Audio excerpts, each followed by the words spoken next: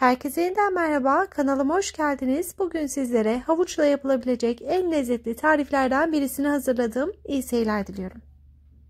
Yaklaşık 1 kilogram havuç kullanacağım. Havucun kabuklarını soyduktan sonra şu şekilde verev verev kesiyorum. Kullanmış olduğum tüm malzeme listesini videomun altında açıklamalar kısmında ekleyeceğim. Siz evdeki kişi sayısına göre e, tarifin miktarını arttırıp azaltabilirsiniz.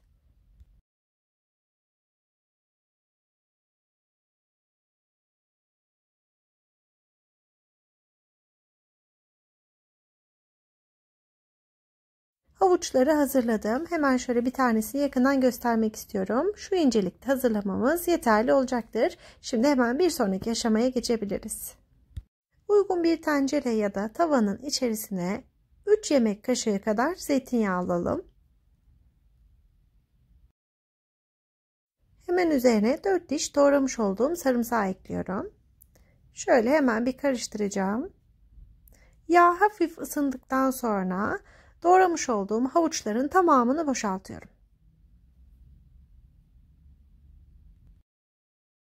Ara ara karıştırarak kavrulmasını sağlayacağım. Hemen 10-15 dakika içerisinde hazırlayabileceğiniz bir tarif. Ayrıntıları kaçırmamak için videomun sonuna kadar izlemeyi unutmayın lütfen. Bir kapak yardımıyla kapatıyorum. Bu şekilde çok daha kolay yumuşuyor. Hemen şöyle kontrol edeceğim.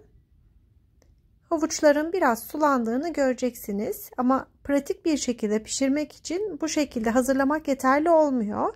Bunun için bir çay bardağı kaynamış olan suyu hemen havuçların üzerine boşaltıyorum.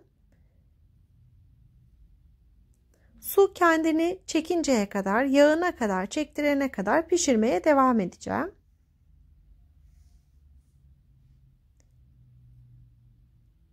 Şöyle bakın altında suyu var. Suyu çekinceye kadar harlı ateşte pişiriyorum.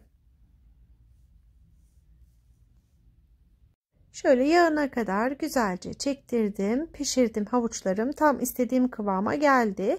Yumuşaklığını kendi damak tadınıza göre ayarlayabilirsiniz. Üzerine şöyle küçük bir demet e, doğramış olduğum çok ince doğramamıza da gerek yok. Maydanozumu ekliyorum. Tavanın içerisinde hemen karıştıracağım.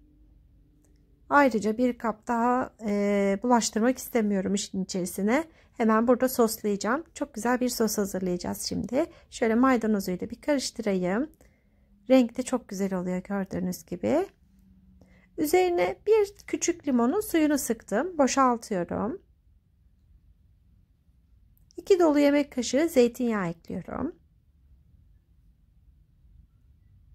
Yeteri miktarda tuz, pul biber ve kırmızı toz biber ekledim. Şöyle karıştırıyorum. Hemen servis tabağımın içerisine alacağım. Yemeklerinizin yanında ya da davet sofralarında kullanabileceğiniz hem ekonomik hem de lezzetli bir tarif havuç salatası.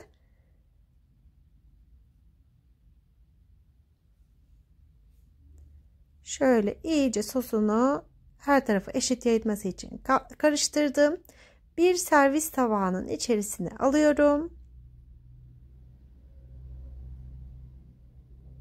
Eğer varsa taze nane de kullanmanızı tavsiye ederim.